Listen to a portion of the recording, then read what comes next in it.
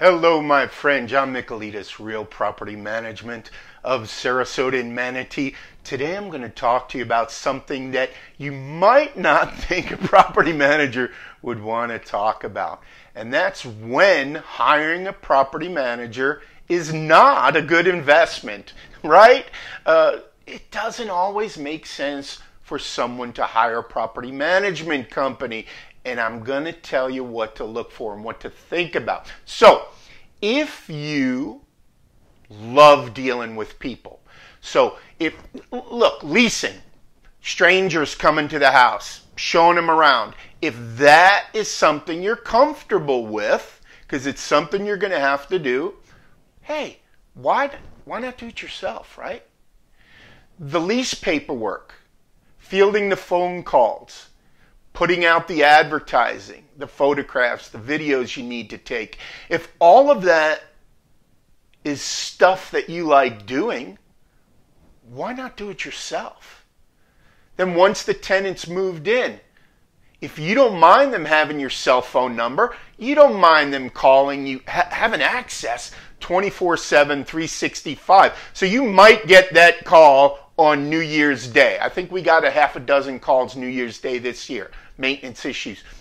You know, fine, do it yourself. A property manager is for somebody that doesn't want to do it. Either they can do it, they just don't have the time, or they can do it and they just don't want to, or they really don't have the skill set. They don't know anything about fixing stuff and, and, and, all of that. So the point of the matter is when does it not make sense to hire a professional property manager? When you're skilled in handyman type tasks, when you feel very comfortable doing the advertising and, and the showings and meeting with strangers and handling the complaint phone calls and being on call 24 7 and this assumes that you live real close to the property right? If you live four hours away just just forget about it. You're not going to make it happen. But if you live a few blocks away let's say you're retired let's say you're handy with tools you don't mind them having your phone. In matter of fact you like it when they call. You love chitty chatting then do it yourself. Don't hire a professional property manager.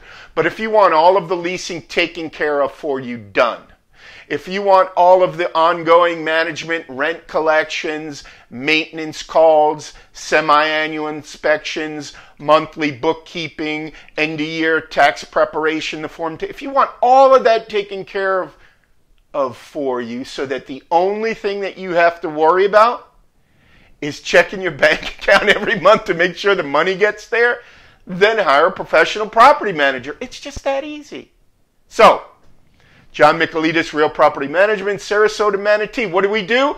Full service property management and leasing for those that just don't want to deal with it. But guess what? For do it yourself landlords, we also offer lease only services. So we will do all of the advertising. We will do all of the showings. We will do all of the background checks. We will prepare the leases. We will sit down for the lease signing. We will collect the security deposit in the first month rent.